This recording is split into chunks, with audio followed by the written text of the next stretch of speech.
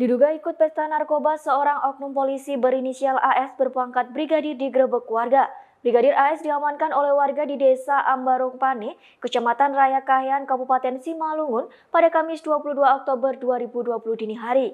Kapolres Simalungun AKBP Agus Waluyo pada Jumat 23 Oktober 2020 kemarin membenarkan penggerebekan dan penangkapan AS yang dilakukan masyarakat tersebut. Agus Waluyo menegaskan akan menindak bawahannya yang terlibat narkoba tersebut. Dikutip dari Kompas, penggerebekan berawal dari kecurigaan warga dan pemuda setempat yang melihat adanya kegiatan mencurigakan di dalam gubuk tersebut.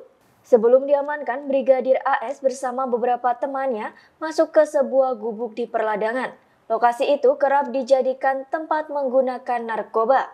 Warga akhirnya memutuskan untuk menggerebek gubuk tersebut saat digerebek, AS dan temannya sempat kabur.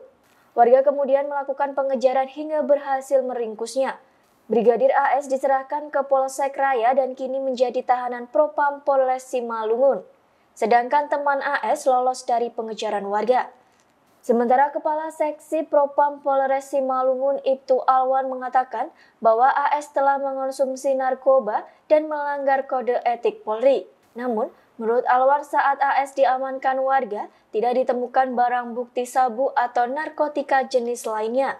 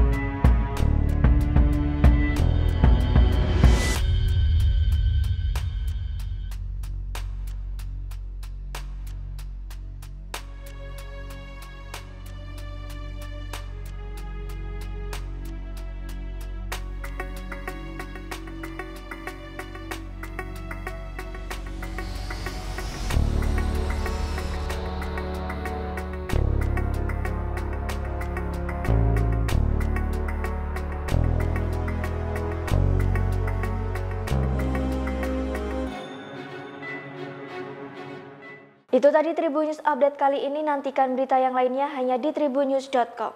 Terima kasih sudah nonton. Jangan lupa like, subscribe, dan share ya.